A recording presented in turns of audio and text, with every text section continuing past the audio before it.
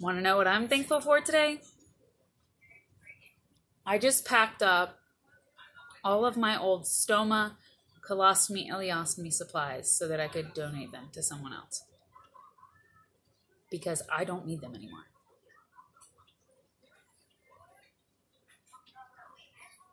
I'm finally here at this point. You know?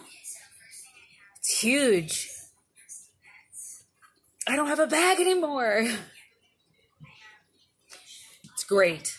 I'm so thankful. Not only do I get to be here with my family, but I'm cancer freaking free, man, and bag free. I'm so happy. Just wanted to kind of share my like my news, you know. I can't stop smiling about it.